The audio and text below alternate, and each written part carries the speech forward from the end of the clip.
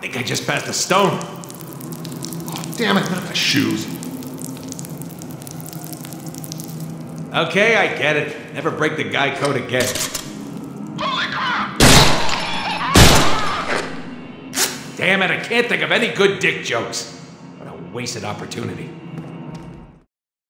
He's loud, mouthy, silly, goofy, vulgar, wacky, off the wall, and any other loony adjective you can think of.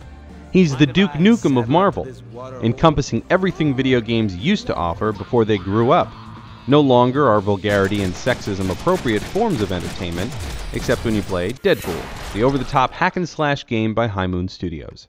The game is filled with inappropriate, sometimes uncomfortable dick and boob jokes, and sexism, but it kind of works. Deadpool knows what it is a pedestrian action adventure that relies on toilet humor as a crutch to its shallow plot and crude jokes. I have a package that.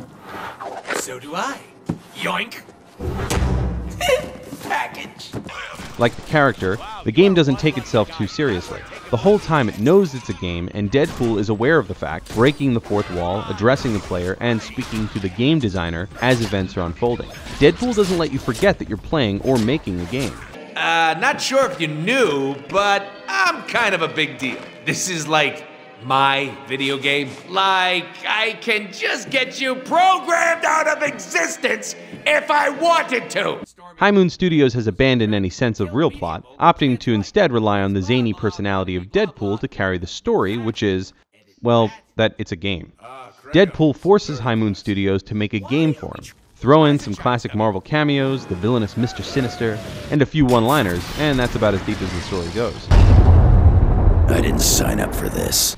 Nolan North does a fantastic job as the merc with a mouth. Each line is delivered with the entertaining maniacal tone you'd expect of Wade Wilson, and oftentimes it's North's acting ability that carries what would otherwise be an uncomfortable joke. Ah, that water is cold and deep. Whether or not you find boob and dick jokes funny is up to the individual player and your taste for vulgarity. With twin blades and an arsenal of weaponry at your disposal, fighting is entertaining, though somewhat repetitive toward the latter half of the game. There just isn't enough variation. Combat relies on a combo system that builds up momentum, which in turn can be used for flashier moves and attacks. Deadpool relies on a mix of melee and ranged weapons, and combining the two forms in a seamless combo can be very rewarding. Not only does it look pretty, but it will help you earn more Deadpool points, which can be spent unlocking new weapons, moves, and skills in a pretty shallow upgrade system. It gives you a sense of customizing your character, but the various upgrades are hardly noticeable or unique. We're giving Deadpool a 7.0. Deadpool is the very thing it makes fun of a generic action game with little innovation that sometimes finds its foot in its mouth. That's not to say it isn't entertaining, though. The character of Deadpool makes the more dull aspects of the game enjoyable and forgivable. Fans of the character will undoubtedly enjoy North's performance, combat is passable, and the graphics, while not the best, are far from ugly.